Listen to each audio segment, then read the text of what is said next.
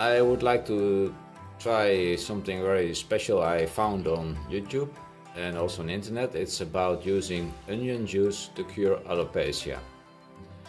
I have alopecia since I had apnea, which is now cured. I've lowered my cortisol levels. I'm using all sort of vitamins and my hair has come back partially. I still miss some hair spots like here are some spots. Uh, my eyebrows uh, well there is there is a part missing here and this is a very thin eyebrow. My hair on my head is almost gone. There are some white small hairs but it's mainly bald. So uh, I made some onion juice with my uh, blender and what you do is two times a day you apply it. Smelly of course. I'm using uh, some uh, de toilette to, to cover it just so people don't smell it and uh, I think I'm the only one who smells it.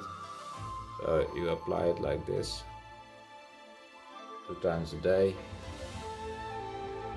Here's some bald spots. Also here because it's a bolt here. And I put some on my head.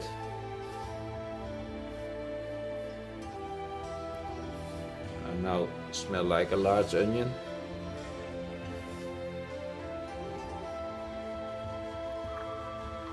Two times a day. Uh, according to the research, you should see results in uh, two weeks time and after six weeks it should be cured.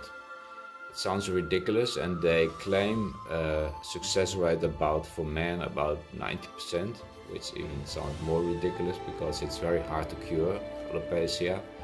But we know onion juice is, is free, so it doesn't cost anything.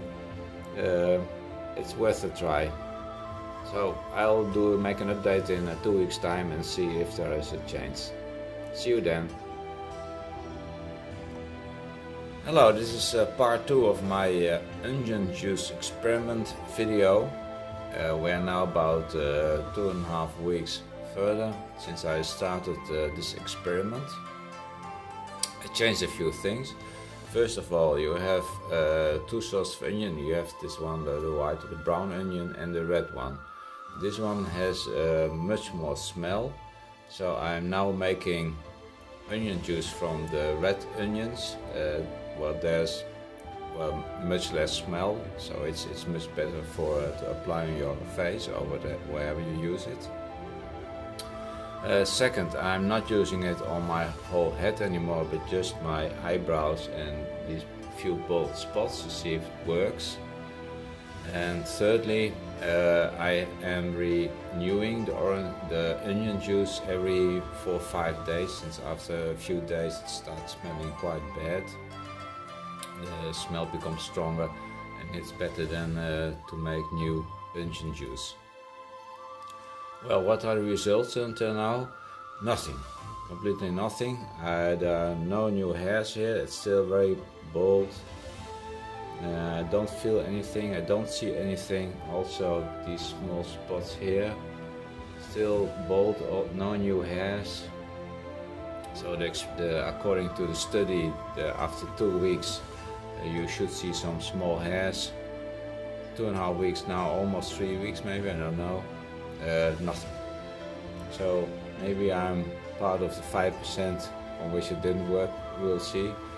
I'm going to continue this experiment so the next video uh, will be at the end of the six weeks trial. See you then, bye. Well, six weeks have passed. The, I have stopped the experiment after five weeks because I was losing hair on my uh, left eyebrow and there's no regrow visible on the rest, uh, not here and also not here. Uh, my conclusion is that uh, to use onion juice to regrow hair does not work. Uh, in my case I even lost hair. Uh, well, I've, I've tried other things in the past. I've tried uh, this. It's a uh, dermal roller. Tried it half for half a year, and also no effect. I've tried minoxidil, no effect. What has helped me is a proper diet. Uh, I'm not really into keto completely, but uh, I, I'm close to keto. So uh, that means good fats, uh, good vegetables, and stay away from carbohydrates, carbohydrates as much as possible. So I do some potatoes and I eat some bread, but not much. And very important is I stay away from sugar as much as possible. Another thing that has helped me a lot is uh, being conscious of my uh, cortisol level, my stress, and uh, to work on my stress. And there are a lot of videos on, uh, on YouTube about stress, how to lower your cortisol. I've tried a lot of things, you know, the, uh, cold, I do cold water swimming, uh, I'll take cold showers, be, go to bed early, get a good sleep do sports, uh, cycling, running, uh, go to the gym. And I think all these things, everything I do is, is for with one goal, uh, feel good, lower your stress. And I think uh, your cortisol is the most important thing there is.